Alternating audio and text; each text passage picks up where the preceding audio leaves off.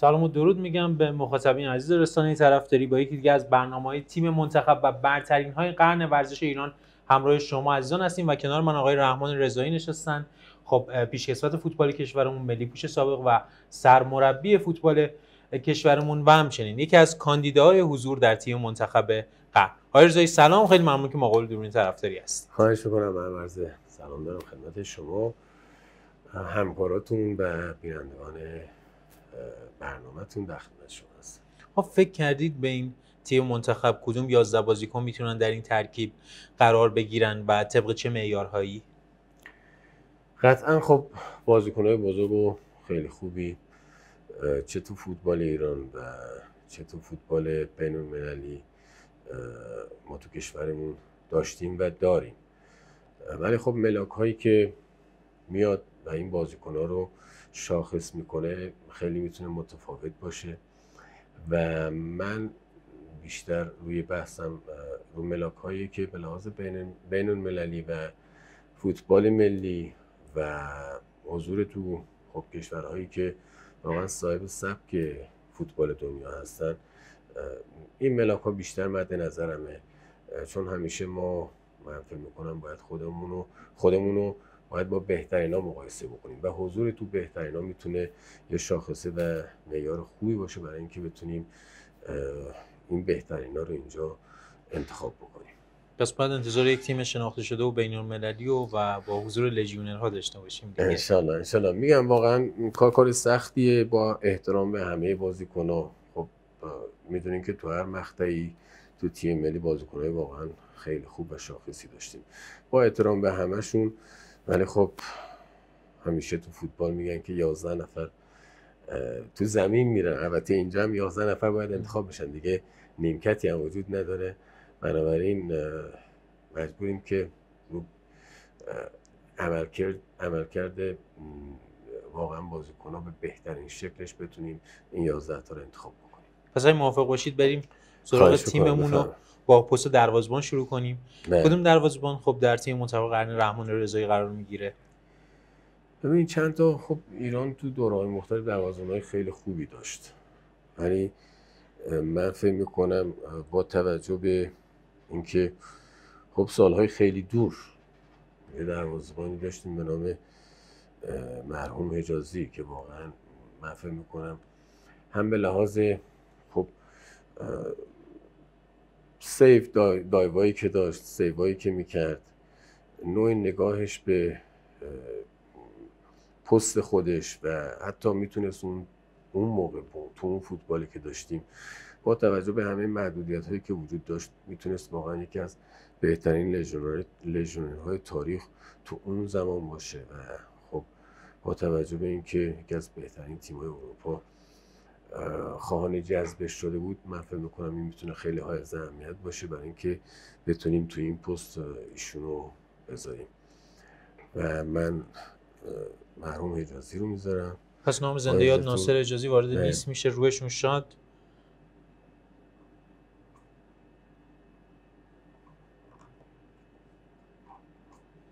خب بریم سراغ یک خط جلوتر ما چهار نفر در خط دفاعیمون می‌خوایم با دو تا دفاع وسط شروع کنیم یا بک چپ؟ بله. من از راست شروع می‌کنم با ایزاتون و خب بازم تو این پست بازیکنهای خیلی خوبی داشتیم. چه تو فوتبال داخلی شما حساب کنید تو تیمای مطرحمون. خب یه چیزی متاسفانه یا خوشبختانه بگم بهترینا رو تو استقلال پرسپولیس باید پیدا کرد و البته از یه طرفم میشه حق داد به خاطر اینکه معمولا تو فوتبال ما به این شکله که شما حساب بکنین هر بازیکنی به اون پختگی کامل می‌رسه و البته الان یه خورده شرایط فرق کرده. بازیکنایی که به پختگی کامل می‌رسن به اون درجه ای از بازیکن شدن می‌رسن که اون قابلیت دارن که بتونن بازیکن ملی پوش بشن بازیکن بین المللی بشن تو فوتبال ما بالاخره از قدیما مد بوده و هست و الان هم به همین شکله که میان جذب استقلال و پرسپولیس میشن و این نشون میده که خب این دو تیم با توجه به این پتانسیلی که دارن که بتونن بازیکن رو قشنگ بتونن پروردش کنن و به اون درجه برسونن که به بازی به بازیکن ملی و بین تبدیل بشه. من از این رو این حساب این حق میدم که واقعا بتونیم اونجا رو بیشتر مد نظر داشته باشیم. و یه لیول بالاترم خب بازیکنایی هستن که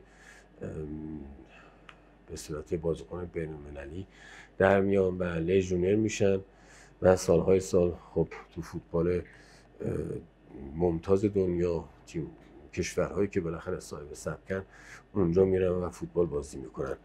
من تو این پست دفاع راست مهتی معتویکیا رو من هم به لحاظ حضور زیادش تو فوتبال بوندسلیگا هم به لحاظ تعداد بازیاش توی بوندسلیگا و تیم ملی و هم خب بالاخره به عنوان چهره بین فوتبال ما هست. اینا باعث میشه که شاخص بکنه. مهتی رو از بقیه بازیکنایی که توی این پست داشتیم اینجا مهدوی کیا رو می‌ذارم. نام مهدی مهدوی هم وارد لیست میشه. خب چه از نظر فنی چه اخلاقی فوق العاده بودن ایشون نه. دو تا دفاع وسط می‌خوایم که خیال ناصرخان اجازی رو در خط دروازه راحت کنن که و پستی است که خود شما کاملا محق هستید که درش قرار بگیرید. والا اینجا یه شوخی بکنم. همیشه میگن که ارتباط بین دروازه‌بان و دفاع توی یه تیم خیلی مهمه. که یه دفاعی که بتونه برای دروازش دروازه‌بانش و تیمش بخواد جون بده. و اگه ناصر اجازی باشه من فکر می‌کنم بهترین شخص می‌تونه خودم باشم. که واقعا با توجه به اینکه خب خیلی توی روند رشدم تو فوتبالم خیلی موثر بوده و کمک بزرگی بهم کرده و از اینکه واقعا از پست فوروارد من آورده دفاع و تونستم سریع لژیونر فوتبال ایران بشم. تو این پست و تو فاصله خیلی کمی و اینکه حضور داشته باشم تو ایتالیا و نزدیک به 160 تا بازی بکنم. و من ضمن احترام به همه بازیکنها تو این پست با توجه به همون ملاکی که خدمت عرض کردم اینو بر خودبینی و یا غرور نمی‌بینم و من به خاطر حضورم تو فوتبال ایتالیا توی سالهای متوالی که حضور داشتم هم از لحاظ تعداد بازی ها و حضور تو جام جهانی جام ملت ها اگه اجازه بدین خودمو بذارم. کاملا شما محق هستید. این رو هم اضافه کنم که بسیاری از کسانی که شرکت کردن تا اینجا در این نظرخواهی ما آقای رحمان رضایی در این پست قرار دادن. و خب خود شما هم در فوتبال ایتالیا که شاید بزرگترین مشخصش مدافع قدرتمندش باشن و از نظر سطح فنی دفاعی خیلی بالا هستن. اون همه سال تو سطح اول بازی کردن خب چیزی نبوده که ما در مدافع دیگری در کشورمون دیده باشیم. خواهش می‌کنم. دفاع چپ و باز هم ببین تو پست کلا چپ زمین تو پستایی که هست دفاع فک و دفاع کنار دفاع وسط و هافک چپ یا الان جدیدن مود شده وینگر. خب ببینیم بازیکنهایی که بودن بازیکنهای زیادی بودن ولی حضور حضور مستمر متداوم توی تیم. چه در سطح تیم ملی باشه در سطح بینالمللی باشه. ببینیم بازیکنایی که شاخص بودن خیلی کم بودن. و اونی که بتونه بله ثبات داشته باشه و سالهای سال بتونه به عنوان چهره بزرگ فوتبالی تو اون پست مطرح بشه.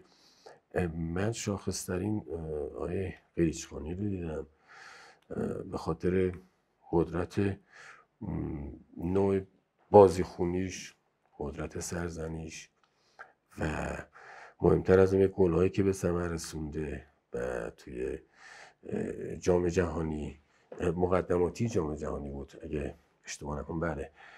برای حضور تو جام جهانی خب گلایی که به استرالیا زده.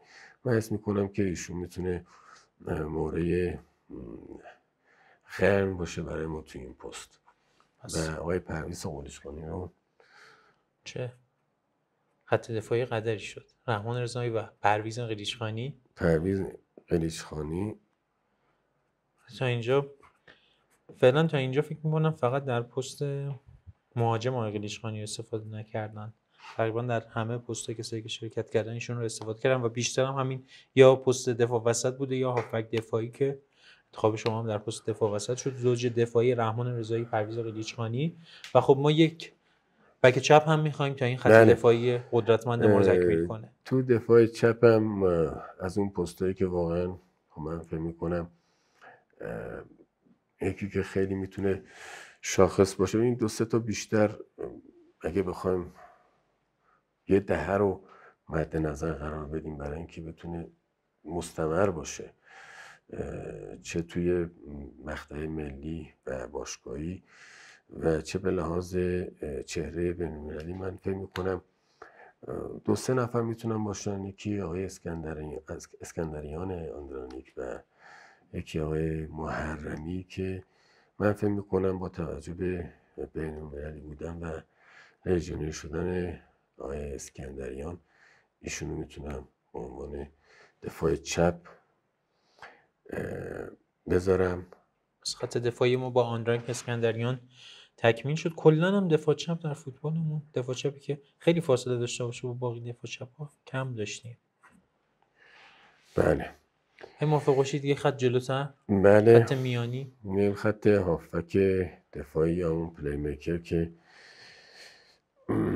تو فوتبال ما باز هم بازیکنایی بودن که بالاخره چند پسته بازی می‌کردن و این پست هم تونستن خیلی خوب ظاهر بشن. با توجه به اینکه خب ما من فکر می‌کنم چند تا چهره داریم که می‌تونن قابل رقابت باشن با هم. یکی کریم باقریه یکی جواد نیکونامه و جفتشون هم من فکر می‌کنم. از لحاظ بازی ملی تعداد گلایی که زدن و نوع بازی که داشتن. من میگم جفتشون بازیکنهای خیلی خوبی بودن. تو زمان خودمونم خب واقعا شاخص بودن. ولی من فکر می‌کنم از لحاظ سبک بازی من نوعی رو که میپسندم بازی کریم باقریه که به عنوان آفق دفاعی بذارمش اینجا. نام آقای کریم هم وارد لیست میشه. بعد میریم برای وینگرا یا هافک های چپ و راست. من از راست شروع می‌کنم که من فکر می‌کنم حتی مهتی هم می‌تونست تو این پست باشه. واقعا نشون داد که تو جفت پست ها می‌تونه گزینه اول باشه. ولی خب حالا که مهتی رو گذاشتیم دفاع راست آقای پروین رو من بیشتر اونجا. می‌تونم بذارم به خاطر خب نوع بازیش نوع قدرت دریب زنی قدرت رسیدن به اون و خب حضور مداومی که داشته و یکی از شناسنامه فوتبال ایران می‌تونه باشه. هیچ. آقای پروین. صحبتی در مورد ایشون نیست دیگه که بخوان مثلا شایستگی حضور داشته باشن یا نه دیگه. یه اسطوره بودن تو فوتبال بله. ما. بله. و پست هافک چپم. من خب یکی از بازیکنهای قهار تو این پست من فکر می‌کنم آقای روشن باشه که بازم عرض کردم چون تو این پست بازیکن با ثبات و که بتونه تقریبا نزدیک به یه دهه بتونه تو اون پست واقعا حرفی واسه گفتن داشته باشه. آقای روشنی که اونجا من فکر می‌کنم می‌تونه بهترین گزینه باشه. به خاطر گلایی که زده تو همه مقاطع بین چه جام جهانی المپیک و همه بازیهایی که آسیایی هر جا بخوام شما در نظر بگیرین گلزنی کرده و این نشون میده که تو اون پست واقعا این که از اونجا بتونی به دروازه برسی و گل بزنین از لحاظ فوتبالی خیلی قابلیت بزرگیه و من فکر می‌کنم بهترین گزینه باشه آقای روشن. حسن آقای روشن خب کلا تعداد گلزنان ما در جام جهانی خیلی نیست و تک تک اون کسانی که در جام جهانی گل زدن فکر می‌کنم می‌تونن و حضور خواهند داشت در تیم های منتخبمون. بله. خب پست بعدی. هجومی. بله. بهش میگم پشت فوروارد یا نصف فوروارد بهش میگم. که هم تقریبا پست آفک نفوذیه و هم فوروارد می‌تونه باشه تو این پست. خب می‌دونیم بازیکنهایی که هستن. از دو تا قابلیت خیلی بالایی می‌تونن برخوردار باشن. یک بازی سازی و پاس آخر دادن. یکی دیگه هم رسوندن خودش به دروازه و دریب زدن و گل زدن. که من فکر می‌کنم تو این پست تو فوتبال ایران بودن یه چند تایی. و من فکر می‌کنم بهترین می‌تونه علی کریمی باشه. و همه قابلیت اگه در کنار هم بذاریم خب با توجه به اینکه خب بالاخره از این طرف هم یکی از بهترین های ما بوده و تو فوتبال بین المللی هم تو لیگ خب آلمان سالها تونسته حضور داشته باشه. در سطح ملی هم خب خیلی کارنامه قابل قبولی داره و من فکر می‌کنم شاخصتری می‌تونه باشه توی این پست. علی کریمی بله. جادوگر فوتبال ایران. خب این چند تا فوق فوق که داریم همه تکنیکی همه صورتی و همه فوق العاده قرار دو تا مهاجم رو تغذیه کنن برای گلزنی اون دو تا بله. مهاجم کدوم مهاجم هستن. دو تا مهاجم خب یکی من مهاجم راست و علی دایی می‌ذارم. به خاطر خب هم بازی های ملیش و هم بازی های بین المللیش تو فوتبال آلمان و بالاخره حضور تو چامپیونز لیگ البته اروپا می‌تونه بهترین گزینه باشه تو اگه دو فوروارد بازی می‌کنیم راست باشه. تا به امروز آقای گل جهان که امیدواریم بله امیدواریم که رکوردش هم پاورجا بمونه و افتخاری بمونه برای فوتبال ایران. و فوروارد چپم من وحید آشمیان می‌ذارم. خب چند تا فاکتوره که بالاخره هم به لحاظ بازی باشگاهی کرده بازی ملی کرده و حضوری که تو فوتبال آلمان بیش از یه دهه حضور داشته و حضورش هم همراه با بازی بوده. من فکر می‌کنم یکی از لژیونرهای بوده که جزو سه چهارتای اول به لحاظ حضور توی فوتبال آلمان و بازی کردنه بله. و می‌تونه تقریبا تو این پست جز شاخصترین ها باشه. حتی فکر کنم یه سالم آقای گل لیگ اگه اشتباه نکنم دو آلمان شده. و من اینجا با ایزتون آقای وحید هاشمیانه بذارم. وحید هاشمیان از باثباتترین لژیونرهای ما در فوتبال اروپا و با نام او تیم منتخب 11 نفره رحمان رضایی تکمیل شد اما خب آقا رحمان ما انتخاب سختتر هم داریم که از این 11 بله. نفر شما سه بازیکن برتر قرن رو انتخاب کنید ببین سه بازیکن برتر رو من رو حساب بازم میگم به حساب اینکه واقعا بازیکنهای پیشکسوتی که هابی رو منباب احترام و کسوت دارم عرض می‌کنم خب بالاخره فوتبال ما رو از یه دوره بسیار ناشناخته ای آوردن یعنی پل ارتباطی بودن کسایی که می‌خوام عرض بکنم خدمتون و پل ارتباطی بودن از یه جهان ناشناخته فوتبال ما به یه بقول معروف دوره ای که اواخر تقریبا دو سه دهه آخر قرنی که گذروندیم. اینا یه پل ارتباطی بودن تونستن خوب فوتبال رو هم تو اون زمان بتونن افتخار آفرینی بکنن و همین که این ارتباط خوب برقرار بکنن و جزو شناسنامه های فوتبال ما هستن. من یکی با اجازتون مجددا آقای حجازی رو می‌ذارم. ناصر خان اجازی برترین بازیکن قرن. بله. یکی علی پروین رو می‌ذارم. آقای پروین که خب باز هم ایشون شما هر جوری حساب بکنین جزو بزرگای فوتبال ما تو اون دو سه دهه بودن و تقریبا دو دهه بود که واقعا فوقالعاده بودن و ما از لحاظ کسبتم من فکر می‌کنم به هر کی بخوایم مراجعه بکنیم این قضاوت رو خواهند داشت و نفر بعدی آقای قلیچخانیه باز هم با توجه به اینکه خب هم هم کسبت و هم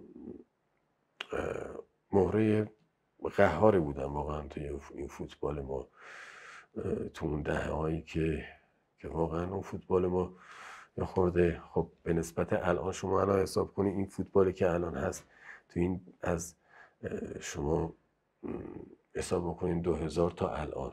این 20 سالی که گذشت شاید برای دو دهه بعد این فوتبال خیلی قابل ملموستر باشه تا اینکه ما از سال 80 حساب بکنیم 70 حساب بکنیم تا 2000 یا از 70 تا 90 و. این باعث شده که من فکر می‌کنم یه خورده کمرنگ بشه. ولی خب مطمئنا بازیکنهای خیلی قوی و قهاری بودن که حتی الان می‌تونستن جزو بهترین مهرهای بینالمللی ما باشن. آقای قلیچخانی رو اینجا می‌ذارم. آقا ما در انتخاب بعدی دو مربی می‌خوایم که بتونن این تیم رو هدایت کنن قدرتش رو داشته باشن و یک مربی داخلی و یک مربی خارجی که سابقه کار در ایران رو داشته.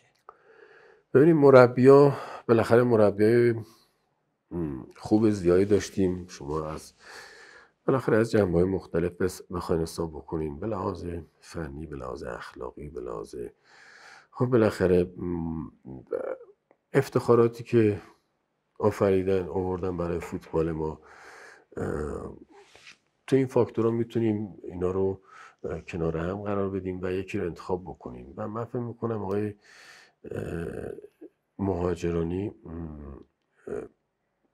می‌تونه نفر اول باشه با توجه به اینکه خب فوتبال ما رو با توجه به اینکه یه مربی ایرانی بوده بتونه به جام جهانی ببره. و این می‌تونه خیلی از اهمیت باشه برای فوتبال ما در از لحاظ لیبل جهانی و بینالمللی. آقای مهاجرانی می‌ذارم اینجا.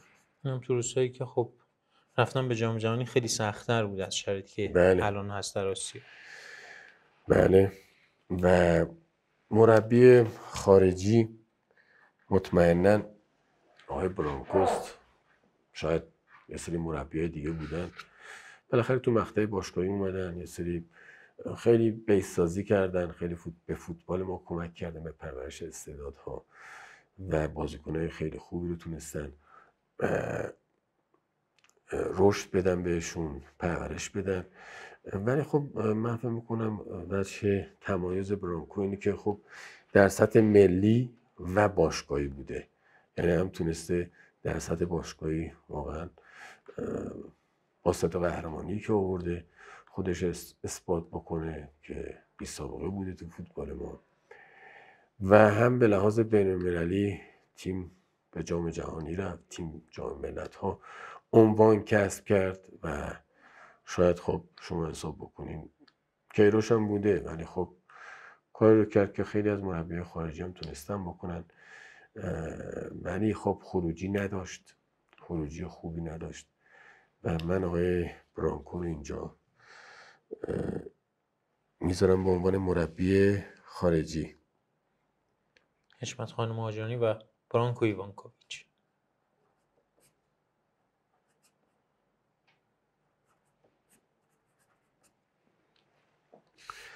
گزینه بعدی برترین داور قرن هست. از نظر شما کدوم داور برترین داور قرن کشور ماست؟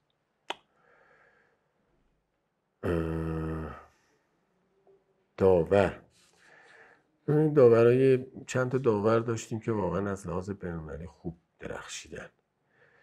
و آقای فنایی مثلا بالاخره فینال جام جهانی وایستاد اونجا البته قضاوت نفر اول نبود ولی خب بالاخره فینال جام جهانی یه تاپ ترین لیول فوتبال جهانیه که مطمئنا نمیشه ازش به راحتی گذشت. ولی خب آقای فقانی هم بودن که خب واقعا فوقلاده درخشیدن به لحاظ رقابت های آسیایی و بین المللی و جهانی که من فکر می‌کنم آقای فقانی مهره با شاید صلاحیت بیشتری باشه برای همچنین امیدواریم به عنوان بهترین داور قرن امیدواریم به دومی داور ایرانی هم تبدیل بشن که خب در فینال جام جهانی حضور دارن هنوز شانسش رو دارن. بله بله. و میگم واقعا از کشوری مثل ایران رفتن تو اون لول رسیدن من فکر می‌کنم واقعا کار ساده نیست. شاید به زبان خیلی راحت باشه خیلی چیزها رو به زبان آوردن. ولی اینکه بتونی به اون لیول برسی واقعا کار ساده ای نیست. حتی شما بخوای از فوتبال ایران بری به فوتبال چه می‌دونم کشور عربی شما بری قطر شما بری امارات شما بری چه می‌دونم بازیکنایی که شما می‌بینین بالاخره یا تیم های کشورهایی مثل مثلا کشور ترکیه یا کشورهایی که مثل چه می‌دونم حتی چین که الان بلژیک یا چین کره اینا کار ساده ای نیست. و یا حضور حتی تو کشورهای مثل چه می‌دونم ترکیه کشورهای حتی کشورهایی که خب فوتبال درجه دو دوی اروپا رو دارن. مثل مثلا چه می‌دونم شما بلژیک یا مثلا کشورهای دیگه که هستن پرتغال پرتغال. البته حتی خود پرتغال هم یه سری تیمایی داره که مثلا الان می‌بینید که جزو هشتای هشتای مثلا اروپاست. و کار کار راحتی نیست. شما موقعی به عمق این مطلب پی می‌برین که واقعا بحث رقابت رو بتونین ملاق قرار بدین برای اینکه یه بازیکن رو بذارین تو زمین. و رقابتی که تو فوتبال اونجاها هست حتی تو فوتبال کشورهای عربی چون شما می‌بینین که بازیکن ای رو میاره. هر تیم سه بازیکن ای میاره. و هر بازیکن ای ثمن بالایی رو براش میدن. واقعا با اون قراردادی که میبندن انتظاری که دارن این باعث میشه که اینا این انتظار باعث میشه بازیکن تو تاپ ترین لیول جسمی و روحی خودش بتونه بازی بکنه. و مطمئنا چیزی که تو فوتبال ما هنوز به اون لیول نرسیدیم شما حساب بکنید تو فوتبال ما بازیکن این چیزی که واقعا من خودم لمس کردم. یه بار دو بار سه بار اشتباه می‌کنه باز بار چهارم احتمال داره بیاد بازی بکنه. ولی تو فوتبال اول دنیا اینه که دارم تقریبا به عنوان یه شمه ای از این انتخابا رو دارم در نظر می‌گیرم. تو فوتبال دنیا شما مثلا تو فوتبال اروپا بخواید یک بار اشتباه بکنی. بار دوم که برسه بار سوم تو سکوی. تو سک بار چهارم بار سوم تو سکوی اگه نتونی تو تمرین خودتو برسونی تو سکو هم نمیری. بار پنجم تو خونتی. این چیزی که تو فوتبال ما ما نداریم. چرا؟ چون به لحاظ کیفی ما لیگ ما لیگیه که باید خودشو به اون لیول برسونه و هنوز نرسونده. از لحاظ کیفیت بازیکنها از لحاظ رقابت بین بازیکنها تو پستهای مختلفی که هست. و این باعث میشه که من چیزایی که مد نظرم بود و اینو عنوان کردم بیشتر چهره رو انتخاب کردم که بتونن لیول بین داشته باشن. و اینه که می‌تونه ملاک باشه شاید شما بهترین بازیکن رو می‌بینین که نتونه حتی ده تا حضور توی بازی داشته باشه. ممکنه سه سال چهار سال باشه ولی نتونه تو هر سال پنج تا بازی بکنه. پس اون استعداد معناش چیه؟ که بتونه یه جایی به ظهور برسه یه جایی بتونه نشون بده. و اگه نتونه اونجا نشون بده مطمئنا اون فوتبال فوتبالی نیست که پارتی باشه آشنا باشه داور باش دوست باشه رفاقت باشه اینا توش نیست. اونجا مطمئنا ملاک و معیار اول لیاقت یه بازیکنه. اون کیفیت بازیکنه. و اینه که منی که رفتم اونجا سالها دیدم لمس کردم چشیدم این چیزا رو برای من واقعا عمق این مطلب کاملا روشنه که فوتبال بازی کردن تو لیول بین تو لیگ های معتبر و مخصوصا اون چهار پنج تا لیگ اول دنیا معناش چه معنایی می‌تونه داشته باشه؟ و اینجاست که من بحث یه خورده به حاشیه بردم ولی داورم آقای فقانی رو اینجا با عزتون می‌نویسم. خیلی. نکات بسیار جالبی هم بودین. شاید تو معیارهایی که تا حالا داشتیم تو ضبط این برنامه از این موضوع صحبت نشده بود این ثباتی که لازمه که فوتبالیست داشته باشه در فوتبال بین المللی اما خب خیلی واسه مخاطبان می‌دونم صد درصد جذاب بوده شنیدن اینها بله ببینید شما ملاک اول برای جذب یه بازیکن. ببینین همیشه ما تو فوتبال ایران باشگاه رو بیشتر از فوتبال ملی می‌شناسیم. چرا؟ چون ملی یه صد بالاتره. ما اونجا رو کمتر می‌بینیم. بیشتر با لیگ، لیگمون رو لمس می‌کنیم بیشتر لیگمون رو می‌بینیم. بیشتر اون حیاهو اون تنش توی لیگ و طرفدارا هر کی مغرزانه یا متعصب میاد به تیم خودش نگاه می‌کنه و ملاک بازی بازیکن بودن و یا بهترین بودن رو تو اون تیم خودش میسنجه. ولی شما حساب بکنید تو فوتبال تو لیگ های معتبر دنیا چون 4 5 تا اول دنیا شما بازیکن رو میان اول میگن که آقا چند تا بازی ملی کرده؟ دیگه نمیگن چند تا بازی باشگاهی کرده. شما ده سال باشگاهی بازی کن ولی ده تا بازی ملی نداشته باشی خیلی لیگا اصلا میگن این لیولش فوتبال ایرانه. ولی وقتی ملی بازی می‌کنی میشه لیول ملاک فوتبال آسیا میشه. فوتبال آسیا که توش چینه توش کر چین که زیاد نه کره است ژاپن و یه سری کشورهایی که واقعا دارن خیلی رشد می‌کنن و و حتی خود چین. بالاخره شما می‌بینید باشگاه خیلی قوی داره. باز مربی خیلی خوب می‌گیره. پولای خیلی هنگفتی هزینه می‌کنه و بازیکنهای خیلی خوبی می‌گیره. و به این شکل داره لیول فوتبالشون میکشونه بالا. بنابراین ملاک ملاک ملی بودن و بینالمللی بودن خیلی می‌تونه اینجا مهم باشه و حائز اهمیت باشه برای انتخاب برترین ها و خب ما در گزینه بعدی برترین تیم قرن رو داریم این. خب این گزینه می‌تونه هر یک از تیم های ملی ما باشه. دوره تیم ملی که شما خودش خودتون درش حضور داشتید. بله. یا هر کدوم از تیم های باشگاهی ما پرسپولیس دهش از استقلال قهرمان آسیا هر تیمی می‌تونه باشه اینجا. این اینو ما البته دوره مختلف که تیم های بودن بالاخره چند دوره پنج شش دوره که شش هفت دوره که حضور پیدا کردیم تو جام جهانی مطمئنا خب هم مهرهای خیلی خوبی بودن هم بالاخره بازی های خیلی خوبی به نمایش گذاشتن و متاسفانه یه چیزی که به نظر من توی مخصوصا نتایج خیلی موثر بوده عدم خودباوری بوده که حتی دورهایی داشتیم با بازیکنهای خیلی خوب بازیکنهای با کیفیت بازیکنهایی که هر کدومشون برای خودشون یه تیم بودن. ولی خب نتایج نگرفتیم و نتایج نگرفتن. ولی خب من فکر می‌کنم اگه بخوام خیلی ملموس و خیلی عینی بخوام این انتخاب داشته باشم تیم تیمیه که 2000 اول 2002 جام جهانی نرفتیم و خودتون می‌دونین تو مقدماتی, فقط با یه باخت حذف شدیم و تقریبا تمام تیم ها رو برده بودیم. یکی دو تا مساوی هم داشتیم ولی نتونستیم با اون باخت با توجه به اینکه با یه مساوی هم می‌تونستیم بریم.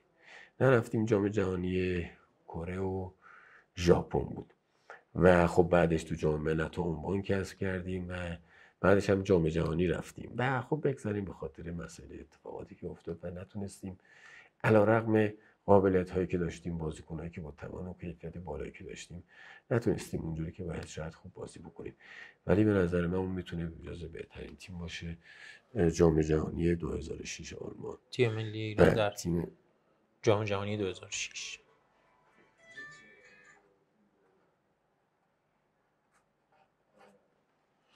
و با خب سه انتخاب دیگه. پرونده برترین های قرن ما بسته میشه. اینجا دیگه کاری به بله. فوتبال نمیریم. سراغ تمام ورزش ها میریم. کشتی وزن برداری دو میدانی تکواندو کاراته. اینجا دیگه هیچ محدودیتی نداره. بله. سه ورزشکار برتر قرن کشور. سه ورزشکار برتر. ما ببینید رشته های دو سه تا رشتن که واقعا تو کشور ما خیلی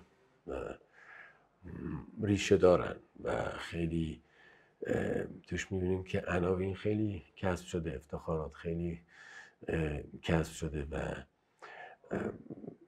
بحثم روی افتخارات بین‌المللیه خب چه به لحاظ انفرادی چه به لحاظ گروهی هم می‌دونیم که کشتی هست فوتبال هست والیبال هست تکواندو هست اینا ورزش که واقعا ما افتخارات خیلی زیادی داشتیم در سطح جهانی.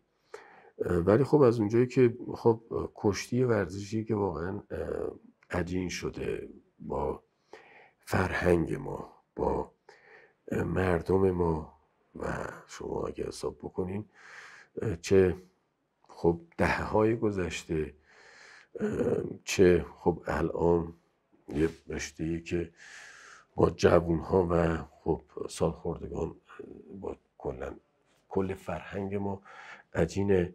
و افتخاراتی هم که توش کسب شده کم نیستن به لحاظ المپیکی جهانی بین‌المللی. و من اجازه بدین که خب اینو سه نفر رو توی کشتی انتخاب بکنم. یکی مرحوم تختیه که خب بالاخره به خاطر اخلاقش مردانگیش پهلوانیش و گذشتی که داشته خب همچنان که همچنان اسوه است و الگوه اه، جان پهلوان تختی روشون شاد؟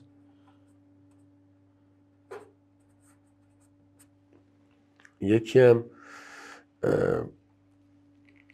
یکی هم آیه موحد آیه عبدالله موحد که خب شما می‌دونین که اون تداومی که کسب افتخارات داشته واقعا منصر فرد خودش بوده و کسی ندونسته اونجوری توی سالهای متمادی بتونه عناوین و قهرمانی کسب بکنه. نفر دوم آقای موحد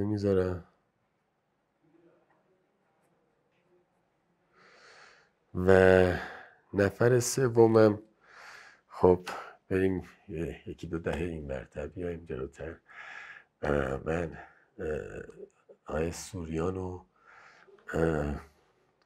انتخاب می‌کنم به خاطر اینکه خب شما می‌دونین که جز پر افتخارترین و بیشترین مدال قهرمانی رو توی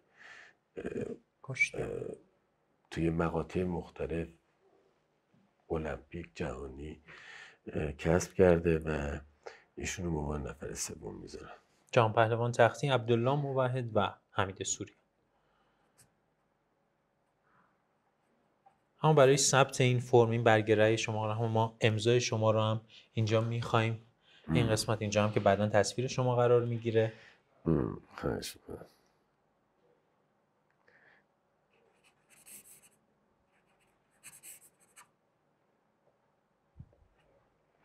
ممنون از شما آقای رحمان رضایی. فرصتی که در اختیار ما قرار دادید و همینطور انتخاب تیم منتخب قرن و ممنون از مخاطبین عزیز رسانه طرفداری که با این برنامه هم همراه ما بودن. تا برنامه دیگه هم شما عزیزان رو به خدا میسپارم. خدا نگهدار.